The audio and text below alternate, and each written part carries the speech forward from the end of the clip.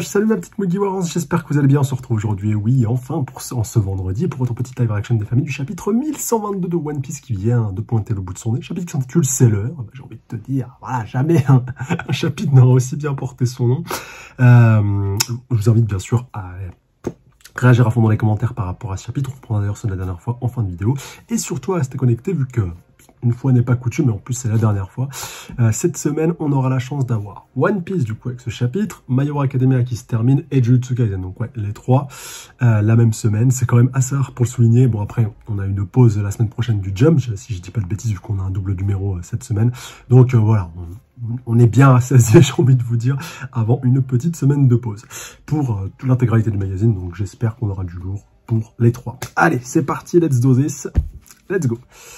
Chapitre qui fait 16 planches avec One Piece qui fait à nouveau la cover du Jump, bon, avec tous les autres gros hits du, euh, du magazine, hein, bien sûr, avec bien sûr bah, Midoriya, tu vois. Ah, tu vois, je disais la semaine dernière, Midoriya, euh, enfin, My Hero Academia qui fait pas la cover du Jump, bon là, il a triché un petit peu, mais quand même, on pourra dire que d'une certaine façon, My Hero aura pu euh, avoir une, une partie de la, de la cover du Jump pour euh, son ultime chapitre. Donc c'est quand même assez rare pour être souligné. Euh, donc voilà. Et euh, Itadori juste derrière. Donc la, logique est plutôt respectée par rapport à l'ancienneté des séries. On a Sakamoto Days derrière, euh, le samouraï insaisissable. Donc donc c'est voilà, c'est pas mal. Et Kagurabachi aussi un petit peu un petit peu plus loin. Par contre pour le coup pour ce dernier en même temps il est assez récent. Ok, alors, oh là là là là, la cover avec Smoker, punaise. Alors, euh, donc c'est une requête, j'ai essayé de reproduire le dessin de Smoker qu'un jeune garçon de la préfecture d'Aichi a dessiné il y a 22 ans. Ok, bah c'est cool, je pense que c'est plutôt euh, assez bien réussi. D'ailleurs, ça fait très très très longtemps qu'on l'a pas vu. Hein.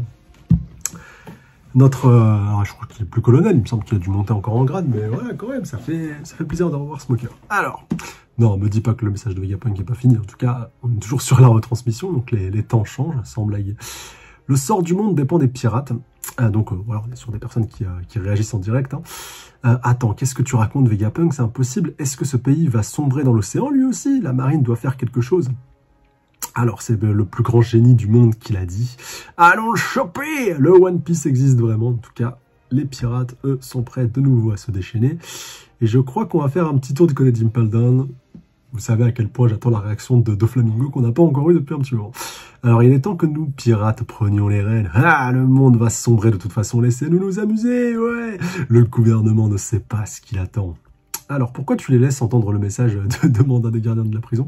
Il est diffusé sur tous les escargophones de la prison et on ne peut pas les arrêter. Ah ouais, donc même ça, ça a été piraté. Alors, comment oses-tu, Vegapunk?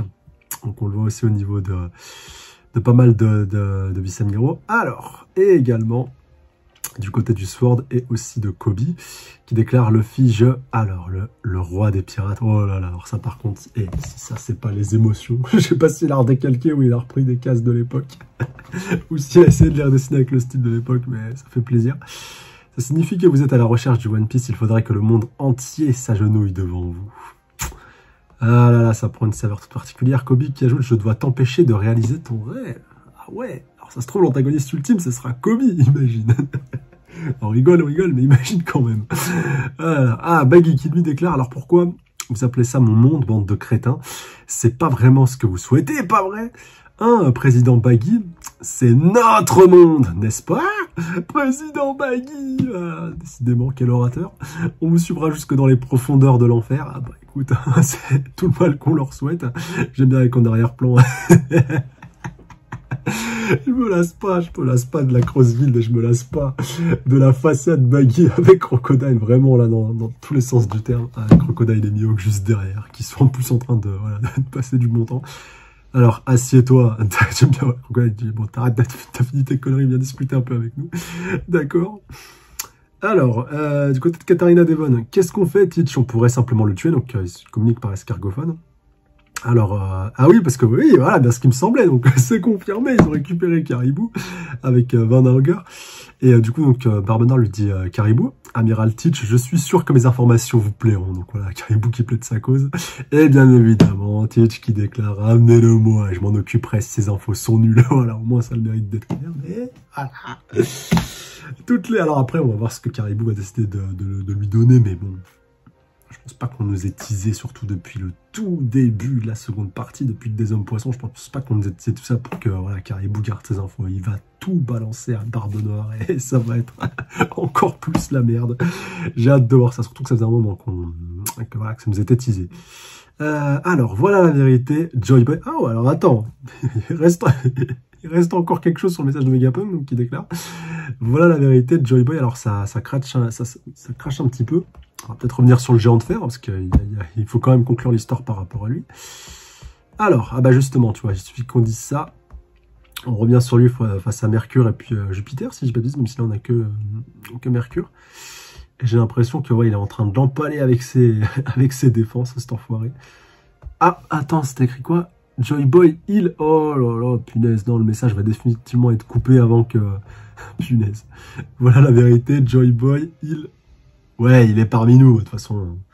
Je pense qu'on l'avait tous euh, plutôt bien capté. Alors, ou alors c'était une info par rapport au Joy Boy originel, alors là, ce serait vraiment le seum.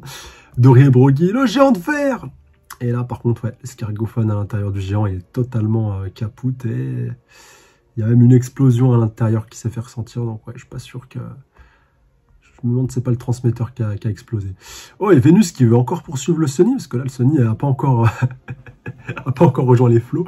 Le vieux cheval est revenu, quelque chose, Zoro. Ah, ça, c'est pas pour me déplaire. On va quand même avoir un ultime clash entre Zoro et Vénus Juro. Ça, c'est pas pour, franchement, ça va être du sale avec bien entendu Usopp. Nami et Chopper qui sont en PLS. Et euh, le géant de fer qui dit pardon Joy Boy. Alors, je sais pas si le fil a entendu. Oh là là là là, punaise. Alors, le robot géant. Donc voilà, lui dit Luffy, alors 1, je te demande pardon à toi aussi, je savais bien que c'était impossible qu'il soit encore en vie. Ah ok, donc, ouais, donc c'est ça, c'est Joy Boy qui dit ça à Luffy, il dit, hm, tu m'as confondu avec quelqu'un d'autre Alors tu lui ressembles, j'ai été nostalgique, mes sentiments de l'époque ont refait surface, j'espère que Joy Boy me pardonnera. Parce qu'entre guillemets, il avait décidé de donner sa vie ou de se faire exploser que pour Joy Boy et pas entre guillemets pour son successeur. Euh, franchement, euh, même si c'est ça le cas échéant, c'est tout à son honneur. Il n'y a, pas, y a, pas, y a pas mort d'homme. Euh, par contre, attends, Saturne, il est où cet enfoiré? Là, je vois qu'on a un petit plan sur lui. Il n'était pas tombé à la flotte, cet enfoiré Alors, attends, on va voir. Alors, Joy Boy continue de... Euh. MS, le géant de fer, qui dit « Je n'ai pas réussi à faire de lui un roi. » En parlant de Joy Boy. Oh là là là là. Ou de Luffy, c'est peut-être un double sens, je sais pas. Ah ouais, j'espère que Joy Boy me pardonnera. Ouais, ah ouais, je n'ai pas réussi à faire de lui un roi. Ok. Ok, ok. mais décidément, que ce soit Zunisha, que ce soit lui maintenant... décidément, ceux qui ont vécu à l'époque du siècle oublié, ils en ont, ils en ont gros sur la patate par rapport à, par rapport à Joy Boy. C'est ouf quand même quand on y repense. Alors, je n'ai pas réussi à faire de lui un roi, mais bon. plus, tu reconnais toute cette symbolique, plus Luffy qui veut devenir le roi des pirates, on l'a encore bien rappelé en début de, chapitre. Donc, euh, là où vraiment Joy Boy n'a pas pu réussir. Surtout qu'en plus, tu vois, je n'ai pas réussi à faire de lui un roi, qu'on sait qu'après, il y a le gouvernement mondial qui est arrivé, tout ça, plus le, le trône vacant. Ah, ça prend quand même euh, pas mal de sens, on va, pas se mentir, hein. surtout vis-à-vis de ce qui a dû se passer durant le siècle oublié, ça prendra, je pense, encore plus sens quand on, aura le flashback tant attendu, mais là, incroyable. Elle est gargantuesque, cette, euh, cette planche. en plus, c'est double planche, bon, qui malheureusement peut pas être complète, mais sur cette big casse, quand même, on capte plutôt bien ce qui se passe, et du coup, Saturne a quand même réussi à rejoindre la côte, cet enfoiré, je sais pas comment il a fait il a dû pouvoir ramper euh, ou, autre, mais c'est quand même relativement abusé. Et euh, attends, on a pratiquement tout le gros en fait, là je viens de percuter. Jupiter, ouais, Saturne, Mercure, Vénus. C'est là en fait, euh, on se rend compte au niveau de la perspective, ouais, ils font pas tous la même taille. Hein. ils sont beaucoup plus gros et surtout en fait, ça a vraiment l'air d'être Jupiter qui est le plus massif d'entre eux. Bon, en même temps, tu me diras, ça fait un peu sens par rapport aux planètes. Tu vois, imagine s'ils avaient tous une taille proportionnelle à la, planète correspondante. à part pour Saturne, du coup, c'est un peu galvaudé. Euh, il manque néanmoins toujours euh, Mars qui n'est pas qui n'est pas revenu, bon, qui doit pas être qui doit pas être bien loin, hein, vu qu'il a l'avantage. Non, il avait été renvoyé relativement loin par le fils, c'est vrai. Mais bon, quelque chose me dit qu'il va peut-être réussir à se repointer, j'en sais rien.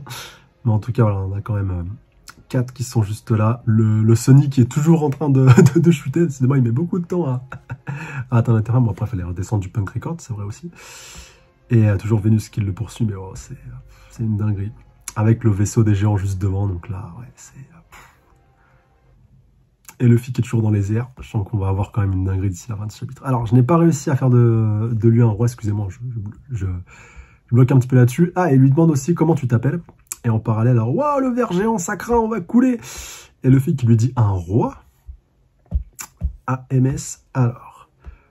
Et du coup, je m'appelle Monkey D. Luffy, l'homme qui deviendra le roi des pirates. Donc voilà, ça fait sens. Et du coup, ah, il a réagi direct le, MS dit. Et ouais. Il a capté. Alors attends, c'est quoi qui se passe au niveau, euh, au niveau du cordage? C'est quoi C'est MS qui essaie de... Attends, on va voir. Est-ce que ça se fissure direct derrière? Ah, mais c'est peut-être pas vis-à-vis de son bras, je sais pas. Attends, on va voir. Et, et Luffy, donc c'est toujours MS qui parle.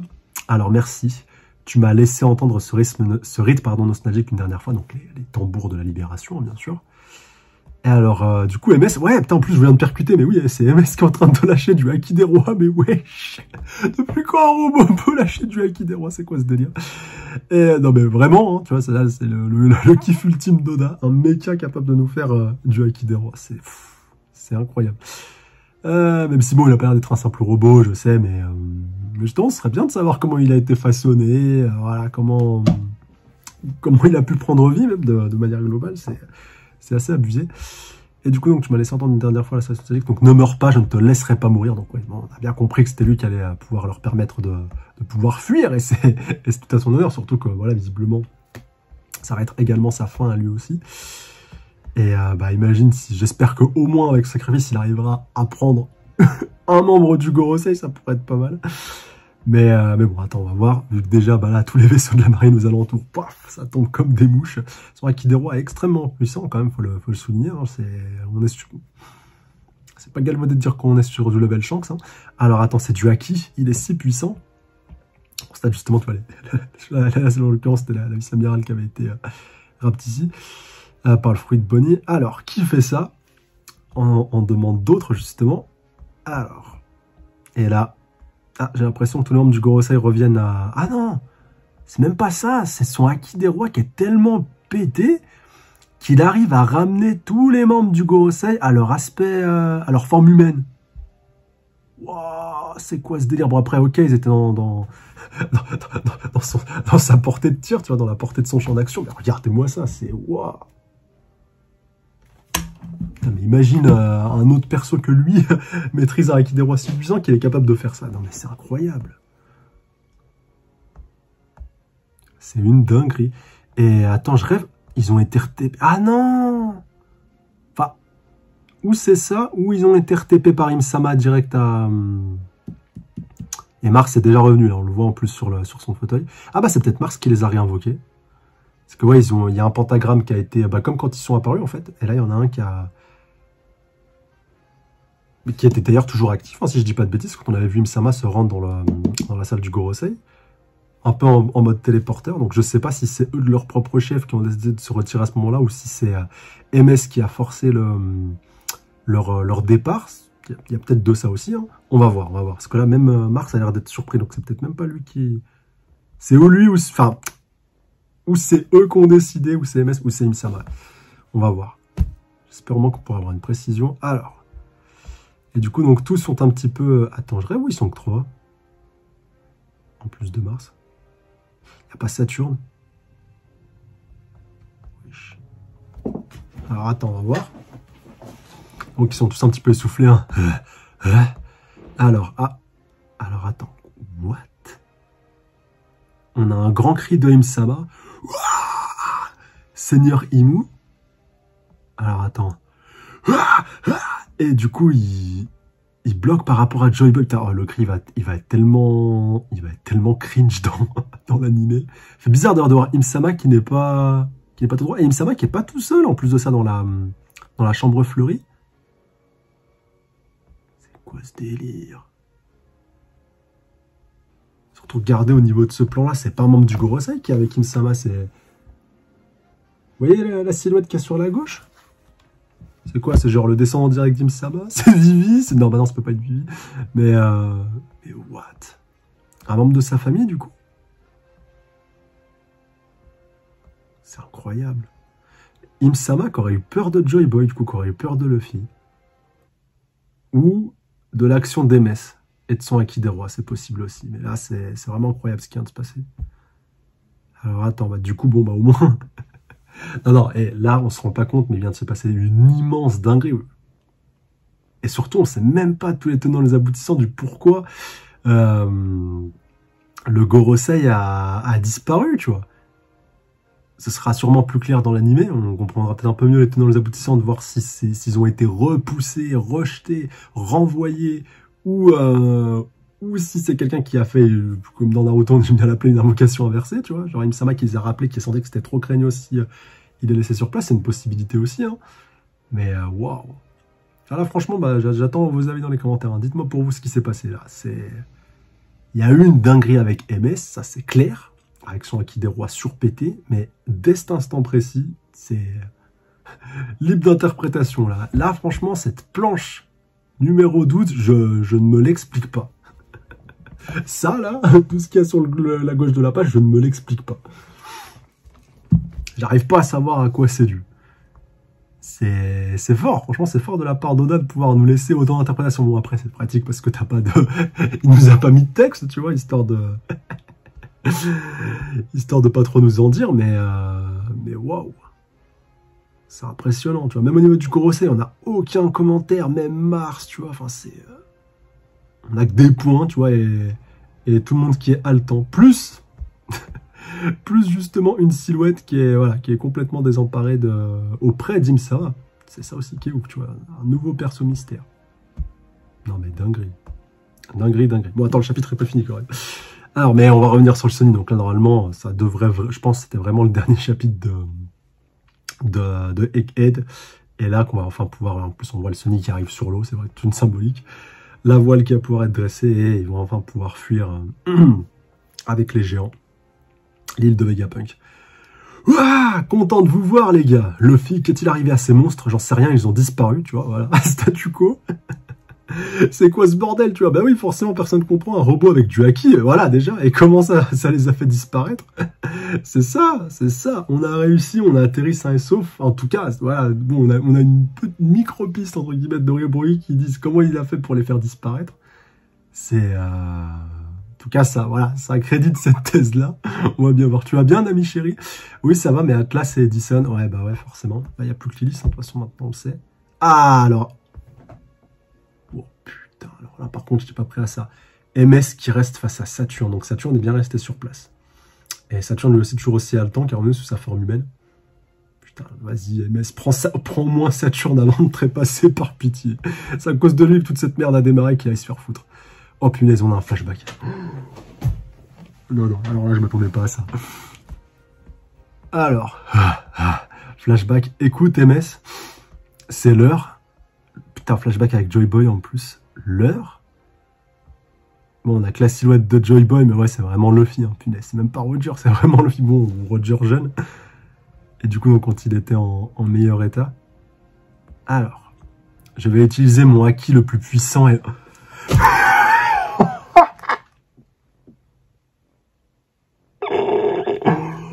oh la dingue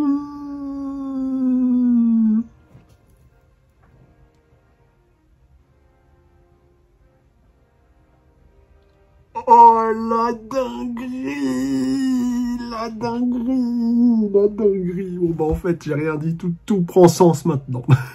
j'ai vraiment cru qu'on allait rester sur une interrogation, mais là, absolument tout prend sens. Putain de merde Franchement, j'aurais pu imaginer beaucoup de choses là avec ce acquis surpété ou autre, tu vois, voilà, même de par sa conception. Mais alors ça, que Joy Boy himself ait scellé son propre acquis des rois et voilà, son acquis le plus puissant, bah, bien évidemment. Donc des rois, puissance, puissance max, c'est sûrement le plus, le plus gros rois all time. Vraiment, clairement. Et il a réussi à le sceller dans MS. Non mais c'est incroyable. Et du coup, bah oui, ça fait, voilà, ça fait sens de par sa nature robotique. Et on comprend un petit peu mieux pourquoi il comment. Et on comprend surtout la pétoche de, de Imsama. Mais waouh. Incroyable, incroyable, incroyable. incroyable. Donc alors attends, on va voir ce qui va se passer avec Saturne du coup. Enfin attends, c'est peut-être même pas sûr. Vous voulez quoi là? Là il reste une page. Vous voulez la finalité de Saturne MS ou vous voulez la suite du flashback? Même moi je, suis incapable de choisir, donc on va voir. Non mais c'est incroyable, punaise. Et en plus de ça, Joy Boy qui nous est pas révélé. Enfin voilà, comme il me on a, on a une silhouette. Donc quel est en toi Alors euh, waouh, ah ça donne pas envie. tu vas vivre beaucoup plus longtemps que moi, je ne serai pas toujours là pour aider. Putain. Et du coup, Joy Boy qui n'avait pas de chapeau de paille géant. Voilà. non mais, mine de rien, c'était une question qui méritait d'être soulevée, tu vois, qui a été soulevée pendant pas mal de temps. Après, c'est possible qu'il date de cette époque-là, que ce soit Joy Boy qui l'ait fabriqué, mais, mais euh, visiblement, le chapeau de paille de Roger, eh ben, c'était aussi celui de Joy Boy en son temps. Et c'est celui que le fit a récupéré. Non mais, incroyable. Bon, dernière page. Alors, on reste sur le flashback. Magnifique. Et même, tu vois, le, décor, là, le sort de promontoire sur lequel il est posé, enfin, c'est trop bizarre, tu sais, c'est très carré, t'as l'impression qu'il y a des arbres au bout, on nous cache quelque chose, on nous cache quelque chose, là, on veut pas nous dévoiler euh, où est-ce qu'il se trouve, forcément, tu vois, où est-ce que cette discussion a eu lieu. Mais euh, voilà, peut-être que c'était sur l'ancien royaume dédié, hein, c'est possible. Alors, à un moment donné, on peut voir aussi que Joy Boy avait une sorte de cap un peu, ça me fait beaucoup penser à Luffy à Wano, tu vois, quand, euh, voilà, au moment du début du combat contre Kaido, donc... Il y a, voilà, je pense qu'Oda, ça a dû travailler pendant pas mal de temps. Là, il nous révèle la silhouette de Joy Boy qui n'a jamais été aussi proche de Luffy que, maintenant. C'est juste ouf. C'est con d'ailleurs que MS n'ait pas vu Luffy sous sa forme classique, tu vois, qu'il a dû le voir en, Gear 5, bon, même s'il a peut-être déjà vu Joy Boy à l'époque aussi en Gear 5, je sais pas, mais... Enfin si, bah si, très certainement qu'il a reconnu les tambours, mais... dinguerie. Alors, Joy Boy qui déclare à un moment donné tu seras en danger de mort ou quelqu'un que tu voudras sauver le sera quand ça arrivera. Défais le nœud. Et c'est ce qu'on a vu tout à l'heure, en fait, je n'arrivais pas à capter. En fait, c'est ça qui, a, qui s'est produit. Là, c'était, je vais vous dire la planche. Euh... Oh, c'est un peu plus récent. Ouais, c'était là. Sur la grosse double planche, page 11. Tout à fait, c'était à ce moment-là, regardez. Je m'appelle Monkey D. Luffy, voilà, dès qu'il a, a entendu dit, en fait, et ouais, ça fait sens. Il a capté. Et c'est, de là que c'est parti, putain. Eh, mais, et quand ça va arriver en animé, mais, oh, les gens vont tellement péter un câble. Oh là là là là, ça va être un épisode mythique. Bon, on va quand même finir ce chapitre. J'ai pas envie de le finir, ce chapitre, est tellement, il est tellement insane. Donc, défait le nœud. Donc, quand ce sera l'heure, tu seras toujours là pour aider. Donc ouais, lui, lui avait dit Joy Boy et il se rappelle à ce moment-là, du coup, MS. Et euh, non, attends, c'est euh, MS qui avait dit ça à, Joy Boy, et oui, bah oui, in fine, c'était euh, la volonté de la manœuvre, j'imagine. Et du coup, Joy Boy lui a répondu exactement, peu importe quand ça se produira, je te sauverai d'ici dans le... Je te sauverai d'ici dans le passé, ouais, entre guillemets, tu vois, comme toujours. Ah là là là là, hé hé, ça me re-re, merci. Maintenant, même si tu meurs, tu seras toujours avec moi. Et alors, attends. Et ça n'arrivera pas avant longtemps, donc je l'avais dit à ce moment-là, euh, Joy Boy. Et, des années des années. Est-ce que ça veut dire que Joy Boy a la capacité de pouvoir transcender le temps? Imaginez un peu à l'instar de Toki, ça me fait beaucoup penser à ça quand il dit ah, quand on se produira, je te sauverai d'ici dans le passé. Là, on sait que bien sûr, voilà, on va pas surinterpréter non plus, mais j'ai envie de laisser une petite ouverture. Après, il faudra vérifier bien sûr avec la, version officielle, mais, mais voilà, j'ai envie de te dire, c'est pas impossible. Du coup, retour dans le présent quand même sur l'ultime case de ce chapitre, sur MS. J'espère que je ne me sentirai pas seul. Rêver de souvenirs, tu m'étonnes. C'est vrai que MS, punaise, même quand tu le compares voilà, au, MS de maintenant, là, il c'était limite pas le même personnage. Après, même il y a énormément de, siècles qui se sont écoulés hein, depuis, euh, depuis cette époque-là. Il était un peu plus reluisant forcément à l'époque. Et, et Vegapunk, je pense, n'avait pas la technologie pour, euh, pour leur taper. Mais, ouais, la limite, tu te dis, mais bordel, tu pouvais pas te réveiller plus tôt, robot de merde, robot de malheur. Bon, après, peut-être qu'il aurait eu peur de, servir les, les mauvais intérêts. Sans doute qu'il aurait croisé la route de Luffy plus tôt, ça aurait pas été la même. Mais, mais oh, c'est une dinguerie. Et d'ailleurs, bah, ça sera encore une dinguerie dans le prochain chapitre parce que voilà, il reste encore Saturne, donc euh, Saturne ne va pas repartir euh, avant de s'en être débarrassé. Donc j'espère au moins que pour ça, euh, MS pourra pourra au moins se débarrasser de lui avant de, rendre son ultime son ultime soupir, mais wow. Incroyable. C'est encore plus ouf que qu'une bombe programmée, tu vois, entre guillemets, nous on pensait, on pensait simple, tu vois, je pense qu'on était beaucoup à penser ça. Et là, on a... J'en reviens toujours pas, bordel. C'est possible cette force, t'inquiète du Haki des rois, mais ouais, je suis en plus le plus, un le plus puissant de l'histoire de, de l'œuvre, mais c'est ouf. C'est ouf. Franchement, Dites-moi dans les commentaires pour vous si vous pensez que Shanks, Barbe Blanche, même Roger, Roger c'est vrai qu'aussi il l'avait, il y en a énormément de persos tu vois, qui rois. Mais est-ce que vous pensez qu'il y en a un qui a atteint ce level-là? Franchement, ah, je veux vos avis dans les commentaires. Là c'est con d'ailleurs qu'on n'ait pas eu de commentaires. Bah après peut-être que tu me diras ça... On aura peut-être une réaction a posteriori du, du Gorosei, ou peut-être même de Saturne dans le prochain chapitre qui dira, voilà, c'est le plus puissant rois que j'ai jamais vu, et qu'il a vu tout au long de son existence, tu vois, ils peuvent peut-être comparer, eux, ils ont peut-être un, axe qui leur permet de pouvoir nous donner un classement, mais euh, waouh, ah c'est ouf, c'est ouf, c'est ouf. Mais ouais, moi, moi j'ai vraiment ce sentiment là, surtout quand tu vois ce qui s'est passé avec le Gorosei, un haki tellement puissant qu'il a pu euh, les, bah ouais, les faire visiblement, les faire revenir à leur forme initiale. Plus les euh, voilà plus les évincer tu vois entre guillemets les chasser. Mais mais Bon, dites-moi ce que vous en pensez dans les commentaires, mais j'ai quand même envie d'être ultra prudent. Je me dis, il y a vraiment moyen que Imsama ait reconnu direct que c'était le Haki de Joy Boy, ce qui s'est passé, et que flippant de ça, ait décidé de rappeler les membres du Gorosei. Mais du coup, bah, on, peut un peu se demander euh, pourquoi Saturne n'a pas été euh, renvoyé, tu vois. On verra, peut-être qu'on aura des précisions dans le prochain chapitre, j'espère. Mais euh, cette possibilité n'est pas totalement écartée non plus, même si voilà, on a bien capté que ce haki était extrêmement dangereux et qu'il a été euh, primordial pour, euh, euh, pour bien faire flipper le Gorosei et qu'il aurait pu faire beaucoup de mal au Gorosei. Peut-être même qu'il en fera encore dans le prochain, on verra bien, mais waouh. Oh la dinguerie Surtout qu'en plus, j'insiste vraiment là-dessus par rapport à, ce Haki des Rois vraiment très très spécial, très très très puissant c'est qu'il a réussi à avoir des effets sur des persos qui étaient quasiment invulnérables, qui ne craignaient pas du acquis de classique. Enfin, je sais pas, rappelez-vous que Luffy, les seuls coups qu'il pouvait euh, porter à ses membres, c'était euh, c'était sur Gear 5. En Gear Force, il se pétait la main, tu vois. Enfin, c'est... Je sais pas si on se rend compte de la, de, de la perf, quand même. C'est monumental. En plus, on parle de Haki des rois, donc... Euh, c'est vrai qu'on est peut-être sur une forme de Haki Diva. Rappelez-vous, il y a, oh, ça fait peut-être même 10 piges que j'avais fait cette théorie-là, tu vois, d'un Haki des rois supérieur. Et là, bah, je crois bien qu'on vient de l'avoir, on vient de l'avoir à l'œuvre. Donc la grande question, c'est de savoir est-ce qu'il y a que Joy Boy qui l'a eu? Ou euh, bon, techniquement, Luffy va l'éveiller, hein, voilà, et on nous a peut-être plus ou moins teasé comment l'histoire allait se terminer. De toute manière, voilà, si on a bien, en tant qu'incarnation de Joy Boy qui doit l'éveiller, c'est lui. Mais, euh, mais franchement, s'il n'y a que Joy Boy et du coup Luffy qui l'auront dans toute l'histoire de One Piece, c'est... Ah, ça serait incroyable. Enfin bref, on verra. Mais dites-moi ce que vous en pensez dans les commentaires. Là, plus que jamais, je veux, tous vos avis. On reprend au petit com sans transition. Let's do this. Démarre avec Manu qui nous dit bonjour Yami, merci pour les vidéos. Et bah écoute, merci à toi pour le référencement, tu nous régales. Euh, Jeffrey qui nous dit pour moi épéiste pour toi l'épéiste c'était l'eau qui avait survécu mais du coup je t'avais répondu et je t'avais dit que c'était pas possible par rapport à la garde de Nodashi euh, qui, correspondait pas avec celle de Yonashi, qu'on était sur un, sur un sabre pirate. Mais merci Corée, mais de toute manière, je pense que l'eau a, survécu. Tu as ajouté très bon chapitre, quel hype pour la course au One Piece, ça fait vraiment le dernier, euh, euh, le dernier chapitre de l'arc, hâte de voir la suite. Clairement, merci Jeffrey. Ouais, bah au final, pas totalement non plus, donc euh, à moins qu'on soit déjà parti dans un autre arc là sur, euh, sur avec celui-là et les, les prochains qui arriveront, c'est possible aussi. En tout cas, ça promet. Merci à toi.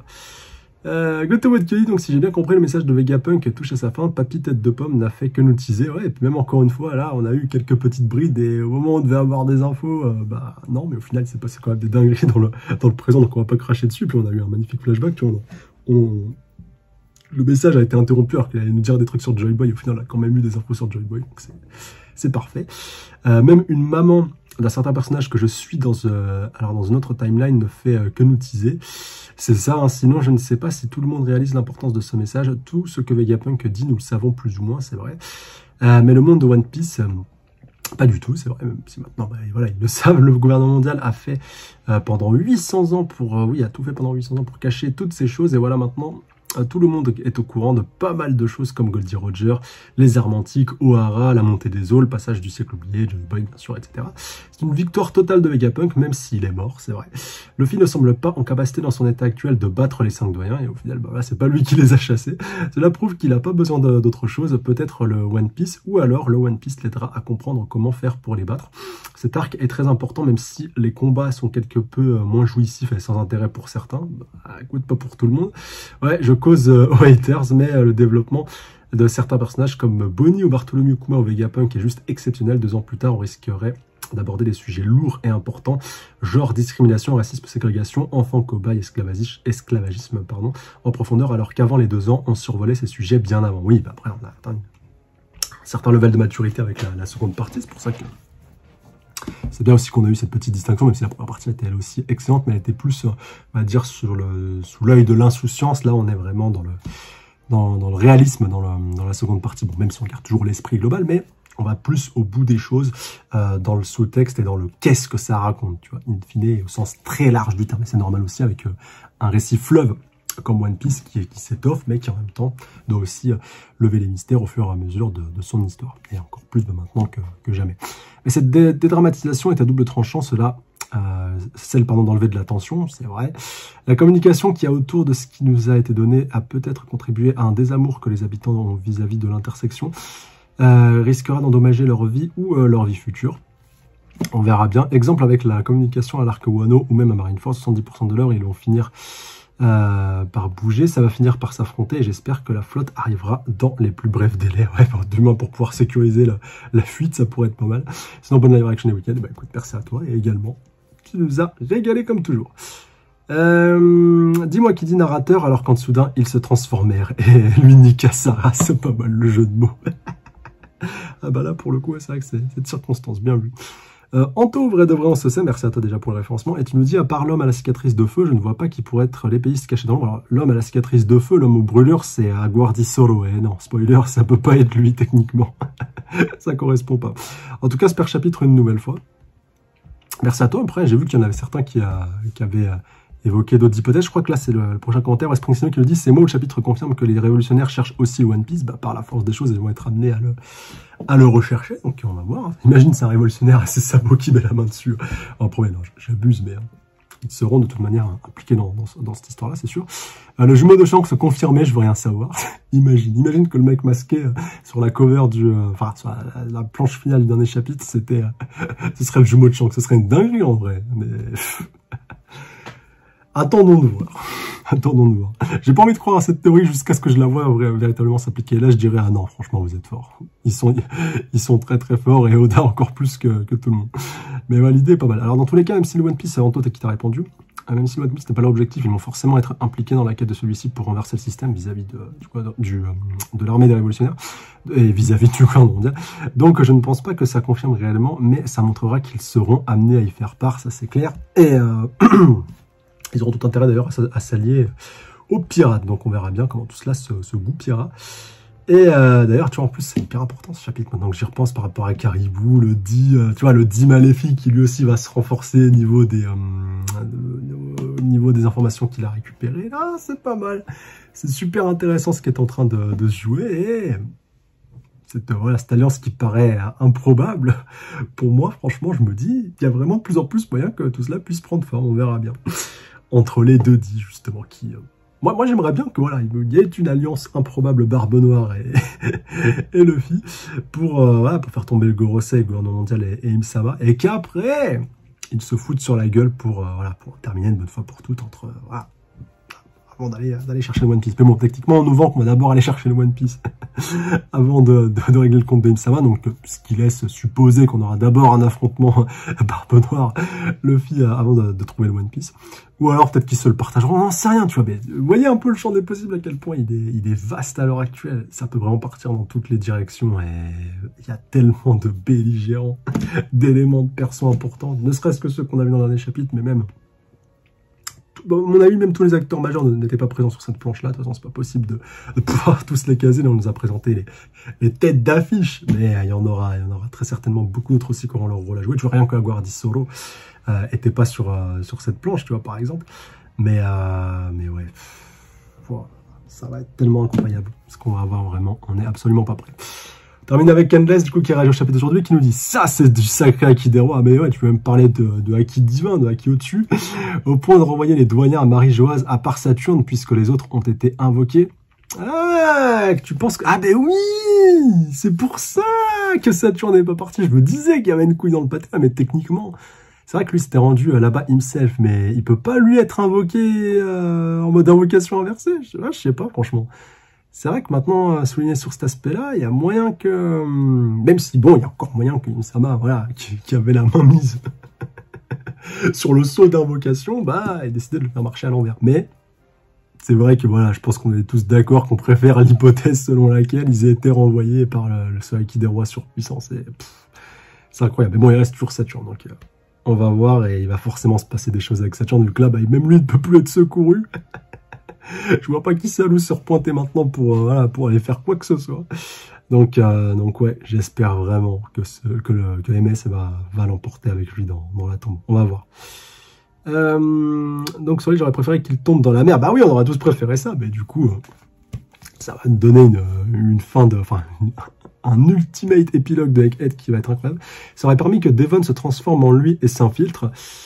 Ouais, ouais, mais du coup, personne va le voir mort. Donc, euh, même vis-à-vis du, euh, gouvernement mondial, t'inquiète pas, Katarina Demon va pouvoir bien s'en servir de, de, la future mort de Saturne.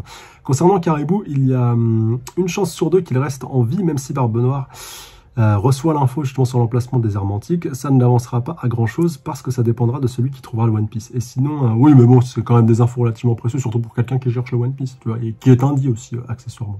Mais ouais, je suis d'accord avec toi, il faut que Caribou reste en vie quand même. parce que je pense qu'il y a encore plus de choses à nous raconter que, de donner toutes ces infos à Barbe Donc, je suis curieux de voir ce qu'Oda lui réserve à, Caribou.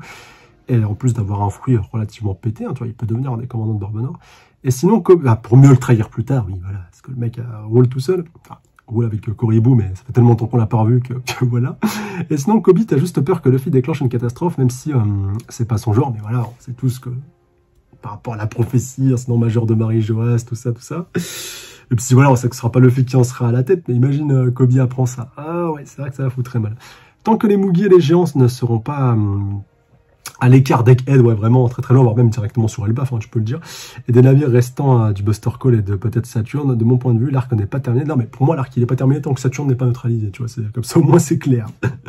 mais euh, mais oui, pour euh, ce qui est des Mugiwara, je pense que le plus dur pour eux est, est passé pareil pour l'équipage des géants aussi. On verra bien, mais mais pour MS par contre. Oh là là là Parce qu'à tous les coups, on va encore avoir des flashbacks de, de Joy Boy, ça va être incroyable. Bon, euh, quoi qu'il en soit, bah, j'espère que euh, ce chapitre historique vous aura plu. J'ai pris un plaisir incommensurable à, vous faire ce live action, sincèrement, vraiment. Pourtant, on a, bien bouffé ces derniers, euh, ces derniers chapitres, là, même ces derniers mois, on va pas se mentir, depuis, depuis qu'on a atteint le, climax de Deckhead, avec l'arrivée du Gorosei et, et qu'on sort. Mais alors là, pour la suite, on va tellement, tellement bien bouffer. Euh, profitons les amis, profitons de chaque nouveau chapitre, vraiment, je ne le répéterai jamais assez. Plus que jamais réagissez à fond dans les commentaires et nous ben, on se retrouve euh, sans faute la semaine pro, euh, dans deux semaines, même heure, même chaîne pour la suite de One Piece. D'ici là, restez connectés. Et qu'on attend, comme je vous l'ai dit, l'ultime chapitre, la fin de My Hero Academia, qui devrait arriver, j'espère, aujourd'hui. Jutsu Kanen également aussi, pour, voilà, bah, mine de rien, lui aussi, je pense sur son arc final, même s'il a encore un peu de, un peu de marge avant la fin. Et au niveau des animes, bien sûr, on terminera ce week-end avec My Hero Academia, toujours en animé, et One Piece, qui euh, continuera également l'adaptation Deckhead. Enfin, pas, pas que Deckhead, là c'est vrai qu'on était plus sur, euh, sur la rue, justement, sur Barbe Noire. Euh, et surtout sur Garp, c'est vrai qu'on va avoir un gros gros épisode aussi ce week-end, donc plus que jamais restez connectés d'ici là, pour plus de pas les. Salut à tous la team, passez un bon week-end et de bonnes vacances si vous y, si vous y êtes. Force ceux qui travaillent. Et ça.